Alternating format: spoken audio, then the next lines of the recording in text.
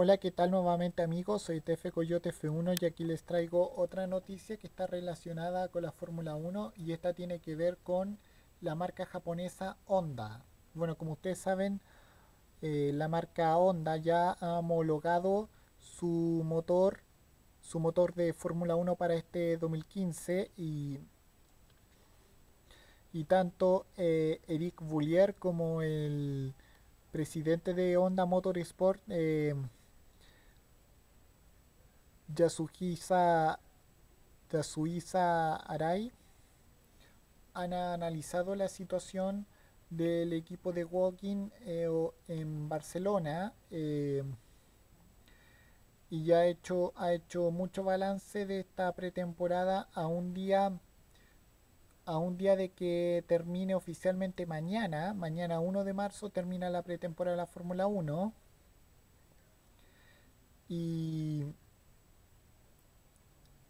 y necesitan kilometraje para obtener la fiabilidad que les está faltando. Eh,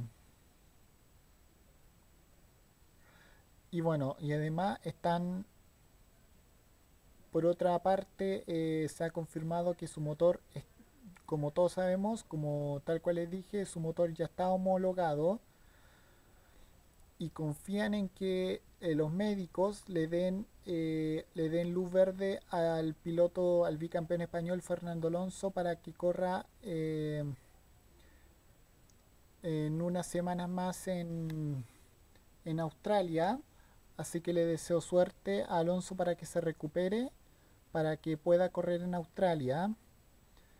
Y espero que le den luz verde a Fernando Alonso Así que espero que McLaren tenga todo listo para partir a Australia. Y bueno,